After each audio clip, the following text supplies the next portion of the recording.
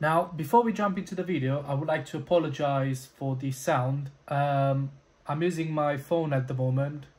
As you know from my previous video, my ex took my camera. Um, and uh, hopefully in future I'll, I'll get a microphone or something to make the sound better. It only happened when I was outside and it was very windy. Also, I'm getting lots of questions on Instagram about the products I'm using to detail the cars, uh, the machine polisher and all that. So I've added all the products in the description below. So make sure you check it out. Welcome back everyone. Um, sorry, it's a bit windy. Sorry about the noise. Um, finally, after about a week and a half, managed to buy some cars from BCA. Now I didn't have much luck and then all of a sudden I bought three cars in one day, which is good. Uh, two of them asked them to be delivered because they had a clean uh, check.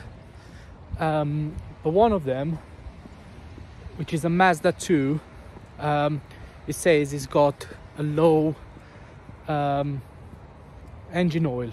So I'm not too worried about that because he had a MOT not too long ago, about four or five months, and there were no leaks. Um, and I hope it was not a dodgy MOT. Um, yeah, I'm just heading to Halfords now, uh, buy some oil, take it with me, and then I'm gonna be traveling to Enfield. Um, that's where the car is. So hopefully I'll manage to get there on time. I had to book the slot when I collect the car. I'm not sure exactly how that works, but it says I have to be there between uh, 2 and 3 o'clock, and at the moment is 22 past 12 so i think i'm gonna make it. It's just showing some delays on the way an incident on one of the lines but uh, yeah. Just hope the car is all right and it's not gonna break down on the way here. It's a very cheap one by the way. Right so i managed to miss the bus but luckily um, a friend from the garage is giving me a lift to the train station so that saved me some time because uh, i think i'm to be a bit late to be fair hopefully they, they won't be too fast about the pickup time uh, sorry collection time. So yeah let's see how it goes. Well i'm here now at bca it was a bit of a journey because the overground uh, it was shut so i had to take a bus around. And then i figured out it would be quicker and cheaper to get an uber. Um, so i'm at bca now. I'm inside the car. They've just uh, retrieved the car for me so i just collected from the barrier um, the clutch and everything feels alright, but something is knocking the hell out of this car. I think it's maybe, you know, on the left wheel, the rear one, I don't know. It's coming from everywhere. Uh, I'm just gonna go around the car quickly with you, um, just show you the car. I inside is a bit, it's better than expected. So let's have a quick look.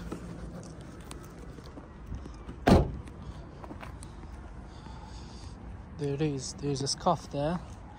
Honestly the the photos at BC are rubbish. Oh it's been painted. Something I don't know. Maybe I'll polish that out hopefully. It's a crack in the bumper which I'm not too worried about.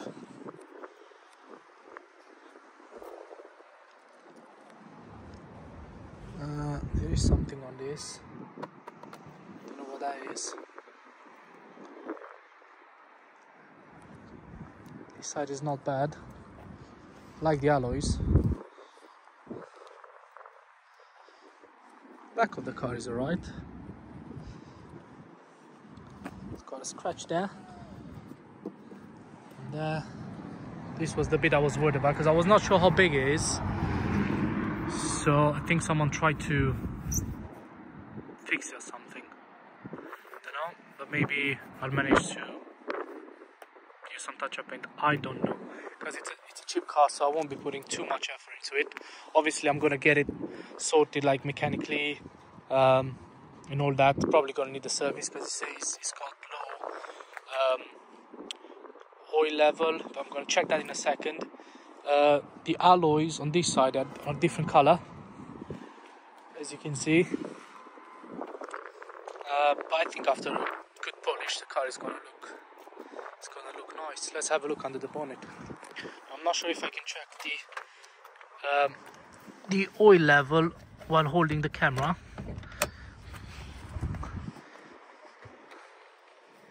I'm just gonna show you quickly on the inside. That needs a good clean. The seats are okay-ish. Uh, the car looks like it needs a lot of work.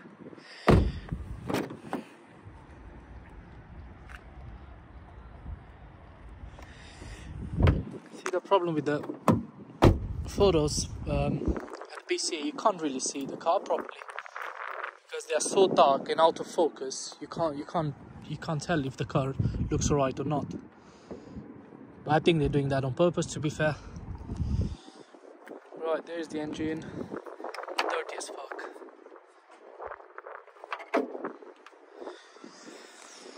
Um,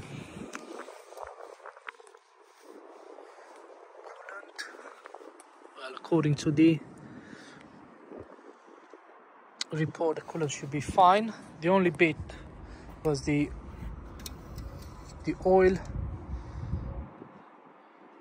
But it does have some oil. Not a lot but I'm gonna I'm gonna check it properly in a second because I can't do it with uh, with one hand. I'm gonna need to clean that as well. Uh, and also on the report says I need two tires I assume are the this one looks a bit like my head. Yep definitely needs a tire. I'm probably gonna go straight to the straight to the workshop. From here if they're not too busy they'll probably get that done today. And then see what the knocking where the knocking is coming from. Um, hopefully it's not gonna be too expensive. I mean on this car it shouldn't be too expensive. So I'm gonna I'm gonna check the oil properly um, and then I'll update you if I stop on the way because uh, I definitely need to stop and grab some food. Um, but I'll update you about how the car drives. The clutch feels alright which uh, was something I was worried about because normally on small cars um, you know they're used by new drivers and um, it's not the best. But I'm sure I'm gonna I, I, can make this car look nice. I like the color. It's like a dark purple um, after I polish this out it's gonna look it's gonna look nice. But this doesn't look very nice. Oh yeah let's see how it goes. It's gonna be a very, cheap car anyway. Check the boot with you guys. This looks like needs to be put back in place. But i got free gloves. Are they gloves or socks? No idea but to be fair i don't really want to touch those.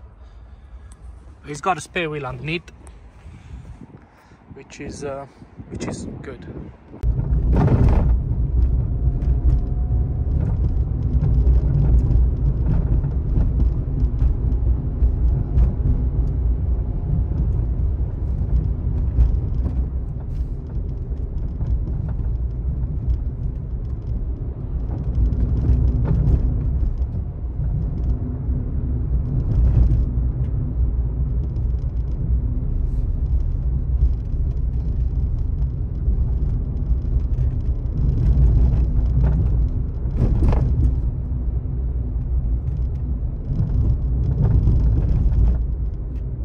as you can see guys I've made it back. Um, the car drives okay.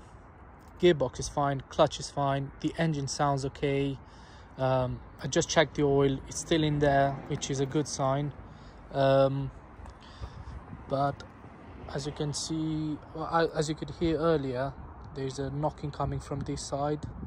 Um, so I stopped at the garage already and they booked me in for Monday morning. Well they said they're gonna squeeze me in so hopefully um, hopefully they'll be able to uh, to sort me out on Monday so I can put the car up for sale as soon as possible.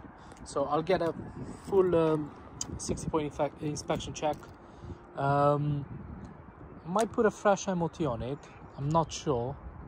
That if I can if I can remember right the MOT expires in November which is plenty left.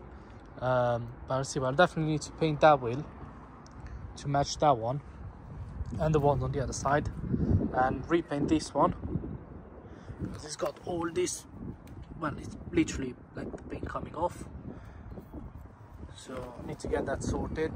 Yeah but overall it was a good drive. It was okay. It was not bad. Um, I would say better than expected because well I'm gonna tell you in a second exactly how much I paid for it. Uh, this I can sort out with some touch-up paint but I think after I polish this car it's gonna look really nice. It's gonna look lovely. Maybe redo this one because it's all scuffed. So let's see. Let's see because I don't want to spend too much time on it because at the moment I need some cars in and out. I need to sell them quick. Oh I didn't see this one. Right, probably it's gonna pop back out. How come I didn't notice this that's strange. I'm sure it wasn't there. I need to check the video to see. Right I'm just gonna go through the breakdown how much I paid for it in a second. So for the car I paid 1098 pounds and that is including fees. So basically I paid 850 pounds for the car. The rest were fees which 11 pounds it was the uh the check they're doing. Um which is good. It's not bad the car retails for two seven if I can remember right. And I was going to pay for the car 1400 uh, without the fees which is good. When I saw that it sold for 850 I was like yeah. But it's not in the best condition. The bodywork needs some work um, which I'm sure I can sort it out myself without having to take it to the body shop to save some money and time because at the moment like i said i need cars in and out in and out in and out um, to get my budget back up and then i can start right? Then i can start selling some better cars um, like i was selling last summer like more expensive cars because it's just easier. Um, some of them were just coming in get it detailed get them checked by the garage and out the door. Um, right the good thing about the car is it's got two keys uh, which is a plus. Um, I had to put a liter of oil in, so the oil was low. Um, I'm gonna do a service on the car as well. Um, get the oil changed, the filters and everything, and obviously ask them to um, to see if there is a leak. But according to the last MOT, which was a couple of months ago, um, there are no leaks or anything. So yeah, let's see how it goes. Hopefully it won't cost me too much. Um, even if that happens I, have still got enough margin in the car. Um, probably I'll put it up for less if I don't spend too much money on it um, and sell it quick. But at the moment I've got an advantage because I've been looking for stock on um, marketplace for a couple of weeks now. Um, the only cars I find in my area, they are literally, literally dog shit. You're looking at 2005 cars up for 2k and they didn't even bother to get them cleaned. So I think I've got a little, bit of an advantage over there because I can definitely feel the shortage. It's not like it used to be like two years ago when I first started. Uh, my first few sleeves flips were from uh, Marketplace. Um, and I used to find cars very quick and easy with good margins in good conditions and all that. But now it's it's a struggle. So yeah I'm gonna prep this car. I'll probably do a video on how I prep the car um, or before and after. By the way um, I got a TikTok account as well.